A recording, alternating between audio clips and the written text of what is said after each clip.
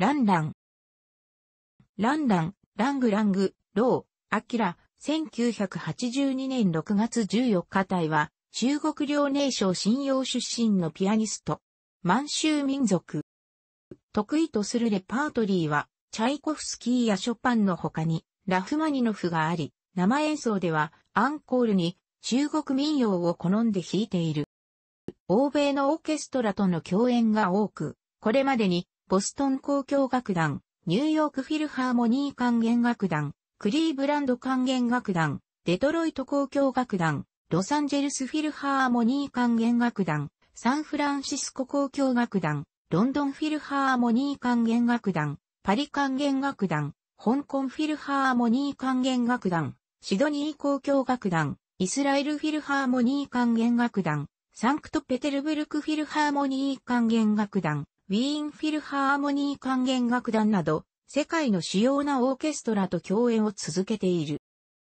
これまで共演してきた指揮者は、ダニエル・バレンボイム、シャルル・デュートワ、クリストフ・エッシェンバッハ、バレリー・ゲルギエフ、マリス・ヤンソンス、ジェームズ・レバイン、ロリン・マゼール、ズービン・メータ、サイモン・ラトル、ボルフガング・サバリッシュ、ユーリテ・ミルカーノフ、マイケル・ティルソン・イコール・トーマス、フランツ・ウェルザー・イコール・メスト、小沢誠二など。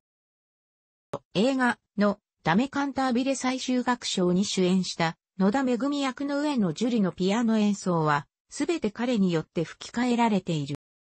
世界的かつ母国を代表するピアニストで、自助伝は中国全土でベストセラーを記録している。また、ユニセフ親善大使にも任命されている。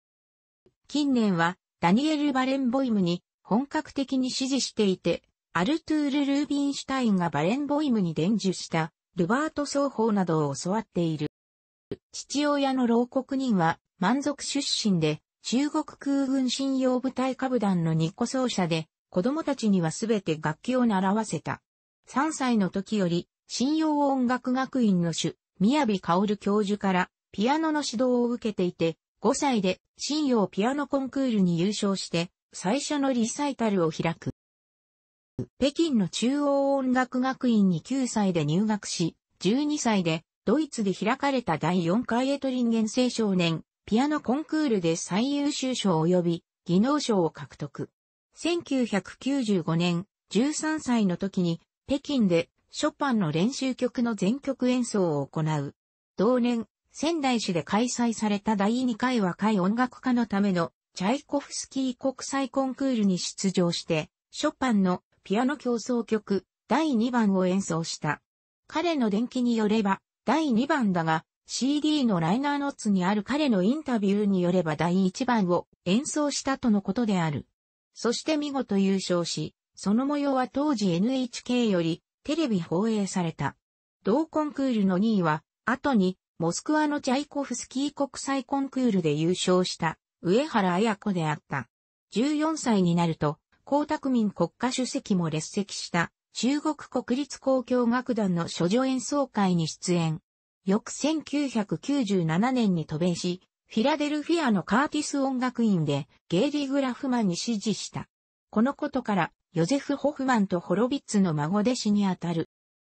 1999年、17歳の時突破口が訪れる。ラビニア音楽祭のガラコンサートで、急病のアンドレ・ワッツの代理として、チャイコフスキーのピアノ競争曲第1番をクリストフ・エッシェンバッハ指揮するシカゴ交響楽団と共演。これがシカゴトリビューン氏によって将来の嘱望される何年かに一人の逸材と評価された。2001年、ユーリ・テミルカーノフとの共演によるカーネギーホールのデビュー演奏会でチケットは売り切れとなった。同年、フィラデルフィア管弦楽団と北京に演奏旅行を行い、BBC プロムスへのデビューは絶賛され、タイムズ紙上でロイヤル・アルバート・ホールのチケットは売り切れとなり、ランランは聴衆を席巻したと報じられた。2003年にプロムスの初日に再出演し、レナード・スラットキンと共演した。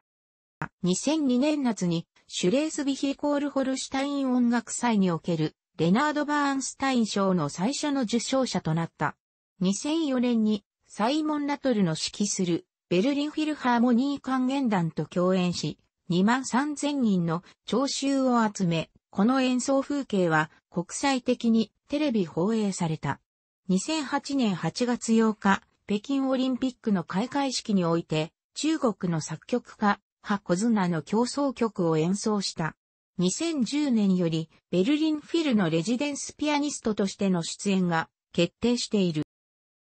テラークレーベル、ドイツグラモフォンを経て2010年よりソニーミュージックエンタテインメントと専属契約し、2010年8月にランランライブインウィーンを移籍後、第一として CD リリース。続いて10月に発売されたブルー、レイディスク版にはクラシックアーティスト初となる 3D 映像がボーナスコンテンツとして収録されている。また、グランツーリスモ5のオープニングの前半の演奏も担当している。2014年のグラミー賞受賞式においてメタリカの楽曲1を本人たちとセッションした。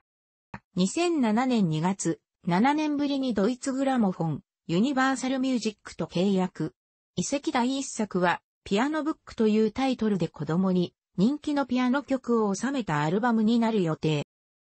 楽しくご覧になりましたら、購読と良いです。クリックしてください。